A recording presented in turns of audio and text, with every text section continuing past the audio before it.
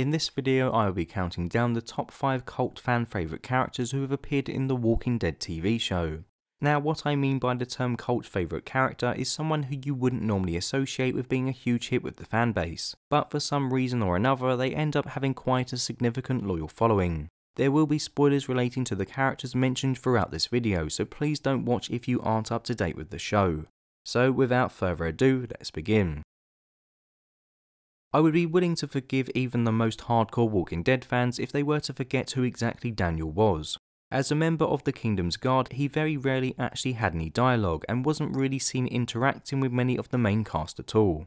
However, as the first member of the Kingdom to come into contact with Rick's group, the role he played was actually pretty important, because if he didn't come into contact with Morgan in the first place, you could make the argument that Rick wouldn't have gone on to be introduced to Ezekiel, meaning the two may have never become allies.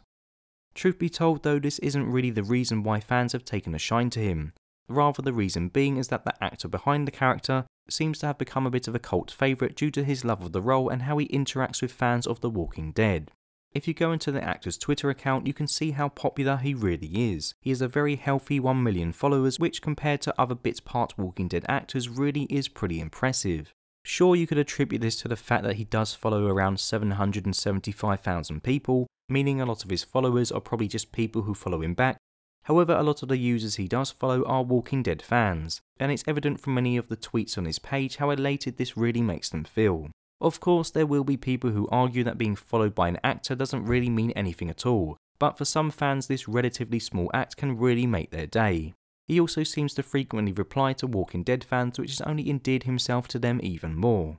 Even though Daniel Newman's role on the show has been a relatively small one, he does seem to have a much bigger active fan base than a lot more well known cast members who have featured on the programme, which is why he kicks this list off. Although the character of Jerry has had a larger role to play than the previously mentioned Daniel, when compared to the likes of Rick and Daryl he is still in the minor leagues. But this hasn't stopped people from jumping on the Jerry train and he's become a very popular late addition to the show, in fact, I actually quite like the guy myself, despite him not really doing an awful lot. When he was first introduced, however, I'll admit I was a bit worried about his character. Seeing him deliver some very bad jokes alongside King Ezekiel the episode after Glenn and Abe were killed felt tonally very out of place and for me the jokes just didn't land.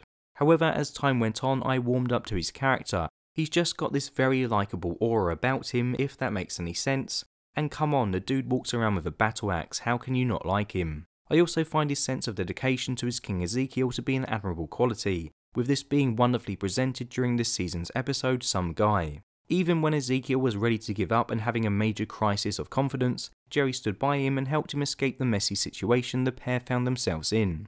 Speaking of messy situations, Jerry also found himself captured by the Saviours during the season 8 episode How It's Gotta Be, with Simon putting a gun to his head if Maggie refused to do as he said. Now if instead of Jerry the person being held hostage was just another random member of the Kingdom's army, honestly I don't think I would have batted an eyelid. However, because it was Jerry, I actually found myself being a bit nervous as I didn't want him to die. Overall, I like what I've seen of his character so far, and if he does manage to survive the All Out War saga, hopefully he will get more screen time than he has currently. When a character is written out of The Walking Dead, you can guarantee that 99% of the time they are going to be killed off, and usually in a pretty brutal fashion. Morales was the exception to this rule, well that was until his return this season, but I'll get onto that later. Introduced during the first season of the show, Morales was part of the short-lived Atlanta group which included memorable characters such as uh, Jackie, Amy, and this guy. Alright, okay, so a lot of the show's early characters weren't that great and were just cannon fodder, however Morales bucked this trend by simply deciding to leave Rick's group and head off on his own path after Mr. Grimes decided he wanted to head to the CDC. With Morales deciding to leave the show, a core set of fans rallied around the idea of wondering what actually happened to him and his family. There's countless articles and fan posts from years previous debating whether or not he would ever show up again in the Walking Dead universe. I mean you only have to google the phrase Morales fanfiction and you'll find many attempts at filling in the gaps of his story arc conjured up by dedicated fans. Juan Pareja, the actor who plays Morales, is also responsible for much of the fanfare himself, as he can be seen making references to the fact that Morales is still alive on his social media accounts years before his actual reappearance on the show. He's been stirring the pot for quite some time, and the loyal Morales fans have been feeding off his dribs and drabs for years, attempting to work out what really happened to his character. As mentioned previously, Morales did return this season on The Walking Dead. I found that seeing him once again was pretty cool, however, as I mentioned in my review at the time, I was annoyed that he was killed so quickly, as in my mind there was potential for an interesting story arc to develop although that I'm sure that his random reintroduction followed by his swift death may have a negative effect on some of his most loyal followers, there still exists plenty of fan fiction and theories relating to what actually happened between Morales leaving Rick and him joining the Saviors.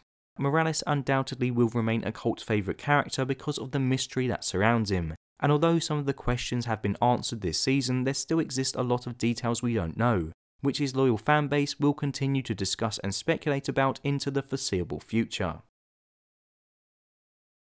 Dale is one of those characters who, if I'm being honest, I'm not entirely sure about. When I first watched through The Walking Dead, I liked him quite a lot. However, on second viewing, he really had a tendency to just get on my nerves. Although, as you can probably work out, I'm not his biggest fan, I do still appreciate that he does seem to be very popular with a huge portion of the Walking Dead fanbase. And even though he isn't my cup of tea, I can understand why he's still held in such high regard. Dale could be described as the moral compass of the group, and whilst everyone else was giving in to their animal instincts as the world collapsed around them, Dale didn't let the changing world change who he was.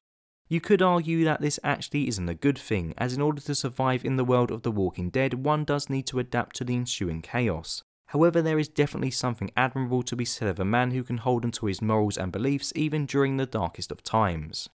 Furthermore, even though I did find Dale's overly optimistic outlook and everything to be pretty naive in hindsight, there were actually times when I did find myself agreeing with what he said. For instance, I completely respect the stance he took on the Randall situation during the show's second season, and I actually found myself leaning to his side of the argument more so than the rest of the group. Perhaps then you could also accuse me of being naive, but I didn't really think that Randall was much of a threat, and I didn't really see the point of Rick and Hershel saving him only just to kill him anyway. The Walking Dead has had its fair share of pacifists and those who believed in peace since Dale left the show. However, I would argue that Dale was probably the most consistent of them all in regards to his beliefs. Like I said, Dale is by no means one of my favourite characters on The Walking Dead, however I can understand why so many fans are fond of him. Despite only appearing in two and a bit seasons of the show and not having an awful lot of dialogue during this run, you'd be really hard pressed to find many Walking Dead fans who dislike Theodore Douglas, or as he likes to be known as, T-Dog. I've seen many comments on videos I've made ranking characters in the franchise, with some even saying he was one of their favourite Walking Dead cast members. Although personally I wouldn't go that far, I did think he was a decent character, and when he did get a chance to speak up or do something, he usually pulled it off pretty well. I'm sure everyone remembers him accidentally dropping Merle's keys down the drain on the city rooftop, also, how can you forget the almost fourth wall breaking scene in which he confided in Dale that he was going to die, because that's what happens to black guys in horror fiction. And finally, I still remember his heroic sacrifice in which he saved Carol during the prison arc, with him ending up being devoured by a pair of walkers. For a character who didn't get a huge amount of moments, the moments he did have weren't half bad at all. Furthermore, like the previously mentioned Morales, there's a lot of potential what ifs surrounding T-Dog that make him an interesting subject of discussion for fans. It's a well known fact originally that T Dog wasn't supposed to die during the prison arc. In fact, originally Carol was supposed to die with T Dog being the one who survived. I can't help but wonder how much of a presence T Dog would have on The Walking Dead if he remained on the show. I mean, when you think back to the first three seasons of the show, I would definitely class Carol as a B tier character. To be honest, she didn't really do anything of note during the initial season, and in season 2 she spent most of her time crying over Sophia in Dale's RV. And finally, in season 3, she was more of a hindrance to the group than a help as she kept nearly getting herself killed. It wasn't really until season 4 onward that her character transformed into one of the main stars of the show. So what's to say the same transformation wouldn't have befallen T-Dog if he had lived on instead of Carol? Although I believe this is an important factor in why T-Dog is so popular, Iron E. Singleton must also take a lot of credit himself. Like the first entry on this list, Daniel Newman, IronE seems to relish the role he played as T-Dog, and from my own personal experiences he really goes out of his way for the fans. When I went to Walker Stalker last year in London he also attended. Now not only was he a hell of a lot cheaper to meet than everyone else at the event, he also seemed willing to give a lot more of his time to those visitors who had come to see him. Whereas a lot of the more popular actors and actresses just blast through meet and greets like it's a factory production line, I and E could be seen talking to fans for 5 to 10 minutes each, and I respect that a lot. Of course, I get that the likes of Norman Reedus and Andrew Lincoln can't spend 5 to 10 minutes with every person, simply due to the crazy number of people who want to see them, but you've still got to hand it to IronE. He does really seem to make an effort for those who are a fan of his character, and that's why for me he gets the number one spot on this list. So there you have it, that's my top 5 favourite cult Walking Dead characters.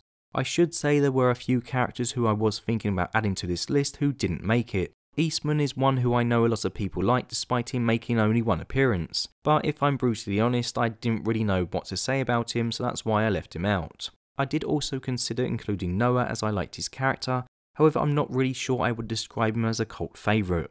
I was also thinking of including Jesse, but everyone knows by now how much of a fan I am of her character, and I don't really think anyone wants to hear me talking about her yet again, so that's why I left her out this time. Anyway, please let me know your thoughts below and tell me if there's anyone else you think I might have missed. As always, thank you very much for watching, and until next time, goodbye.